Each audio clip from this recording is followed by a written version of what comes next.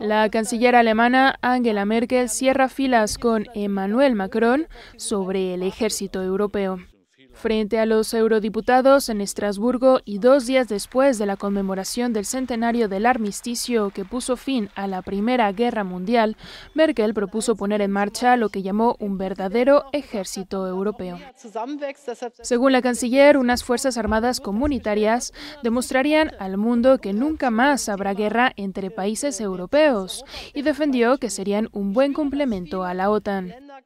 La iniciativa ha recibido críticas del presidente de Estados Unidos, Donald Trump, socio principal de la alianza. Además del ejército europeo, la canciller propuso un Consejo de Seguridad de presidencia rotatoria y mejorar la política exterior comunitaria. Merkel también tuvo en su discurso advertencias contra los nacionalismos y llamó a no olvidar el horror sufrido por estos en el viejo continente. Señaló la importancia de que todos los países se involucren tanto con el fortalecimiento de la eurozona como con la inmigración y los refugiados. Sobre inmigración, Merkel destacó la necesidad de alcanzar tanto un sistema de asilo común como de guardacostas y control de fronteras y apostó por intensificar la cooperación con África. A propósito de la Unión Económica y Monetaria, la mandataria conservadora tachó de imprescindible que el sistema tenga estabilidad, dijo, y apuntó que Francia y Alemania trabajan para presentar propuestas que complementen la unión bancaria de cara a final de año.